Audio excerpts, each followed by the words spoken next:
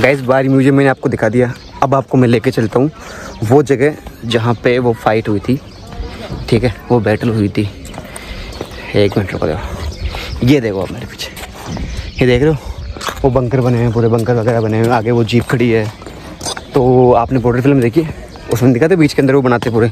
वो जो क्या बोलते हैं? बीच में रेल टाइप रेल टाइप बनाते हैं, वो तो ये रही। ठीक है? और वो बंकर जिसमें वो क्या नाम है, सुनील शेट्टी खड़ा खड़ा धुन धुन गोले चलाता है। तो वो पूरा यहाँ से रिक्रिएट किया हुआ है। चलो, आगे चलो, थोड़ा सा दिखाता हूँ। ये देखो भाई।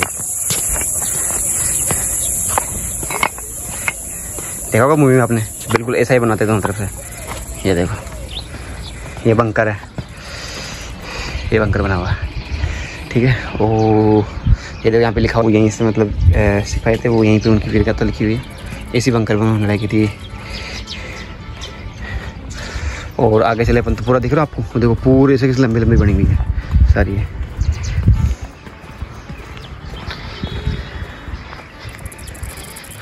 तो गाइज़ ये वही लोंगे वाला पोस्ट जहाँ पे भारतीय सैनिकों ने इंडियन आर्मी ने बहुत ही बहादुर से पाकिस्तान के सैनिकों को धूल चटाई थी।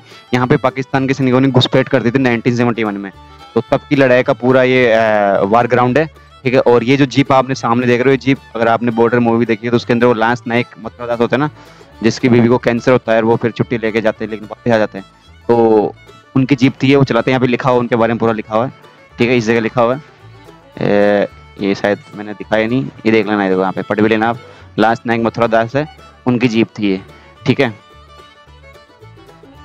गाइज़ लोंगेवाला बार में पाकिस्तानी सेना की पूरी टैंक रेजिमेंट थी जिन्होंने यहाँ पे घुसपैठ की थी इसके अंदर भी पंद्रह से दो हज़ार सैनिक होते हैं। टैंक रेजिमेंट मेरे हिसाब से पंद्रह से दो हज़ार सैनिक होते हैं और चार पाँच टैंक होते हैं।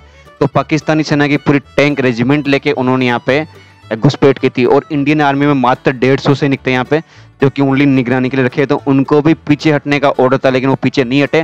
वो बहादुरी से लड़े और उनको यहीं पे रोके रखा। सुबह तक फिर सुबह सुबह वायुसेना आई, उन्होंने सबकी परखचियाँ उड़ा दी। और ये जो आप देख रहे हो सामने ये टैंक ये देखो ये टैंक ये पूरा निस्त पूरा उड़ाया हुआ है।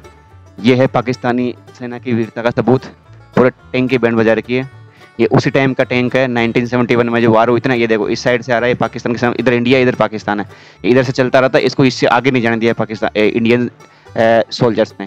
यहीं पे रोक के रखा। और वो जो आपको मैंने बंकर दिखाया था ना, वहीं से इंडियन सोल्जर्स, यहीं से, इसके अंदर, क्योंकि डेढ़ सौ से तो सारे इसके अंदर इसके अंदर रह के यहाँ से गोलीबारी करते हैं। और ये जो तीन चार बंकर बने हुए हैं, यहाँ पे, क्योंकि उस टाइम ना, इतने हथियार थे नहीं, नाइनटीन वन की वार है ये। तो कैसे भी करके मतलब बहादुर सैनिकों ने, डेढ़ सौ सैनिकों ने पूरे टैंक रेजिमेंट को यहाँ पे रोक लिया था सुबह तक। फिर सुबह ही एयरफोर्स ने यहाँ पे हमला किया और सबको उड़ा दिया। यहाँ पे सैनिकों को पूछा था इसी वार के बारे में कि जब वार हुई थी सुबह के टाइम जब डेढ़ सौ सैनिक पाकिस्तान के मारे गए थे तो उसके बाद लगभग पाँच से छः महीने तक इस पूरे वार ग्राउंड के अंदर, पूरे वार जोन के अंदर, सर्चिंग चली जिसमें कहीं सारे टैंक, कहीं सारे गोला बारूद मिले थे। और जो पाकिस्तानी सैनिक इसमें शहीद हुए थे, उनको इंडियन आर्मी बॉर्डर तक सबों को छोड़ने गई थी, लेकिन पाकिस्तानी सबों को लेने के लिए पाकिस्तानी गवर्नमेंट ने मना कर दिया था। फिर उनको इंडिया ही ज़मीन पे दफनाया गया था, बाकायदा पाकिस्तानी रीति रिवाज से।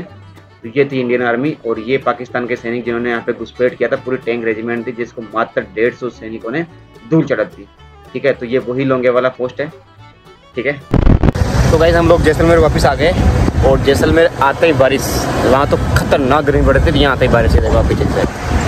देख पूरे जैसलमेर में बारिश हो रही है तो मैंने गोप्रो तो ये अपना जो हेलमेट है, वो तो अंदर रख दिया है। और अभी निकल रहा हूँ मैं गड़ीसर लेक। आज गड़ीसर लेक एक्सप्लोर कर लेते हैं, क्योंकि छः बजे शाम के तो घंटा भर तो अपने पास है। तो गड़ीसर लेक देख के जाते हैं। टाइम रहा तो बारिश नहीं आई, ठीक है?